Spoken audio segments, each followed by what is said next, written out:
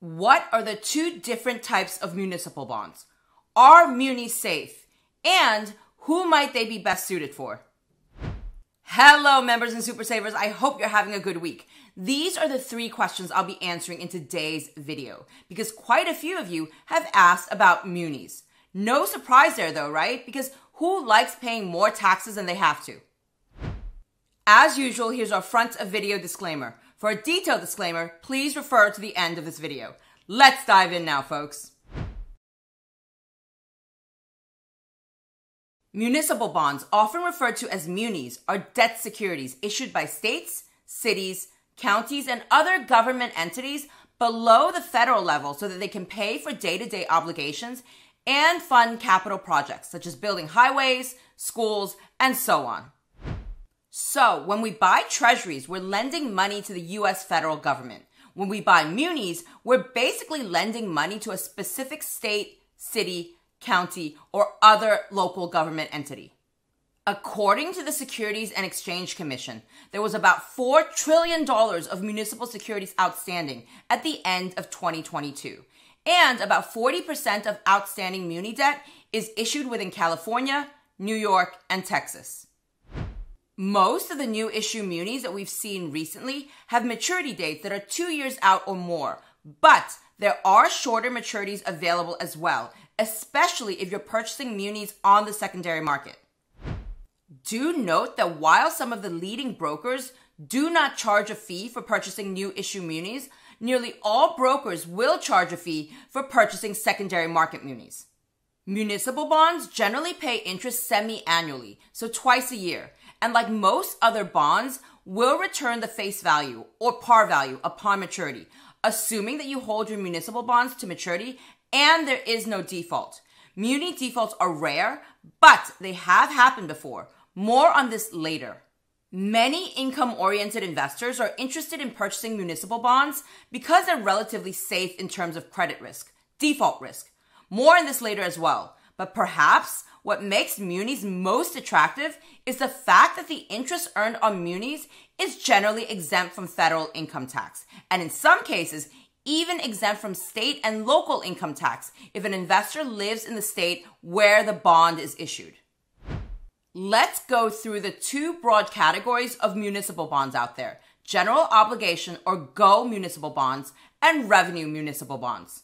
GO bonds are issued by states, cities, or counties and not secured by any assets. Rather, they're backed by the full faith and credit of the issuer, which can tax state, city, or county residents to pay bondholders, similar to how treasuries are backed by the full faith and credit of the US government.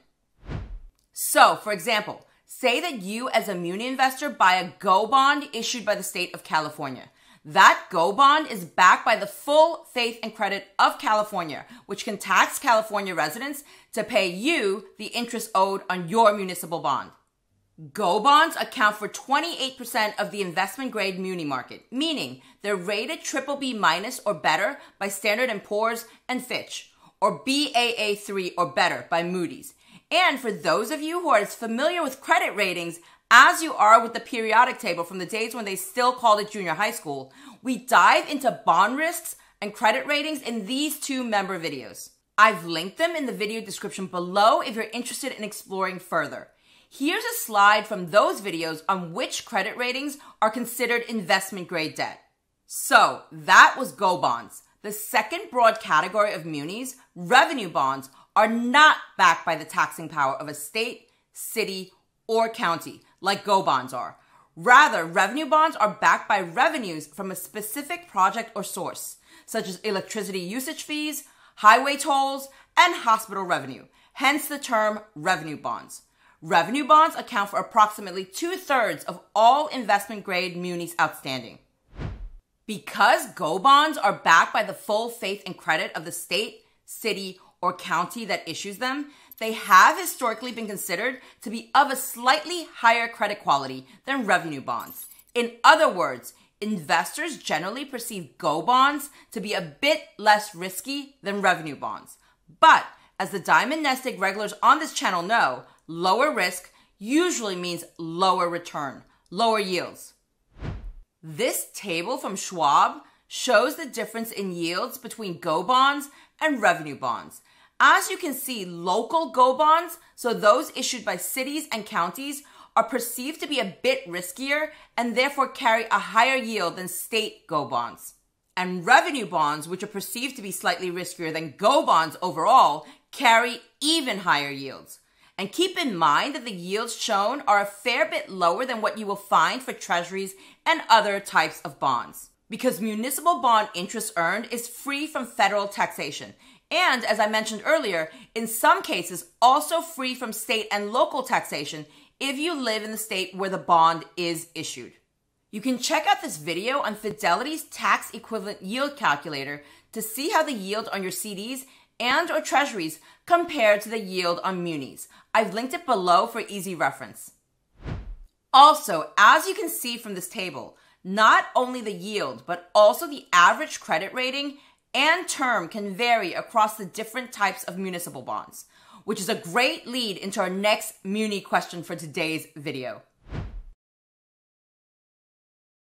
Now, I know that a lot of members and super savers in our community hold I bonds and other treasuries. That is how many of you found us after all. So, many of you have also heard me say on numerous occasions treasuries, for all intents and purposes, are free of credit risk because they're backed by the full faith and credit of the US government. That's why treasuries are considered to be the safest and most liquid fixed income investment in the world. Despite some closer than comfortable calls during the occasional budget and or debt ceiling crises, the fact remains that our government has never defaulted on its debt. The same, however, cannot be said for munis. As I mentioned earlier, munis are relatively safe, but the key word here is relative. As you can see from this recent Moody's report on US municipal bond defaults and recoveries, munis are safer overall relative to global corporate bonds. The default rate for munis across all rating grades is noticeably less than the default rate for global corporates across all rating grades. Munis relative to treasuries, though, is a different story because unlike treasuries, munis are not free of credit risk, not free of default risk. As I mentioned earlier, Go bonds are, in theory, backed by the full faith and credit of the state, city, or county that issues them, just like treasuries are backed by the full faith and credit of the US government. The difference, though, is that there have been defaults on Go bonds. Not many, but there have been. Most notably and recently, the city of Detroit in 2013 and the Commonwealth of Puerto Rico in 2016 and 2017. This chart shows some of the most well known defaults over the past several decades in the muni market. Here's Detroit and here's Puerto Rico, which at around $74 billion dwarfed all other major muni defaults before it. Having said that, muni defaults like that of Detroit and Puerto Rico are rare. In reality, muni default rates have stayed fairly low and stable over time, as you can see from this other Moody's chart. Here's the default rate for the overall municipal market. The light blue bar represents the period from 1970 to 2017. This means that for sample size of roughly every 1,111 between the period 1970 and 2017, there was one default. The green bar represents the period from 1970 to 2022. The default rate is even less over the slightly longer period. Here is the default rate for Go bonds over the two time periods. And here is the default rate for revenue bonds in the utility sector. And as we can see here, it's the munis in competitive enterprises that have the highest default rates. Competitive enterprises include not for profit enterprises such as healthcare, higher education, and housing. It also includes high risk projects such as stadiums and convention centers. So, if an investor wanted to enjoy the tax advantages of a muni while minimizing credit risk, minimizing default risk, one possibility may be to steer clear of higher risk competitive enterprise munis. Overall, though, if we had to rank the various fixed income instruments in terms of credit risk alone, treasuries would be at the top with no credit risk for all practical purposes. Then agency bonds, which can be either explicitly or implicitly backed by the US government. Check out this video here to learn more about agency bonds if you don't know what they are or how they work. I've linked it below as well. Back to our ranking though. Municipal bonds are next in this credit risk hierarchy, and then corporate bonds, and lastly, high yield bonds. Which brings us to the question of which type of investor munis might be best suited for. As I always say, everyone's financial journey is different. Generally speaking, though, munis might be best suited for investors with a profile similar to this. One, you're in a high marginal tax bracket so that you can make the most of the tax advantages that come with muni bond interest. Two, you're planning to purchase your munis within a taxable account. Now, remember that interest earned on out of state munis may be subject to state and local taxes. So, if you're buying an out of state muni, depending on the yield as well as your individual circumstances, goals, and expectations, there may potentially be a case for holding this in a tax advantage account. But I'll save this one for another day.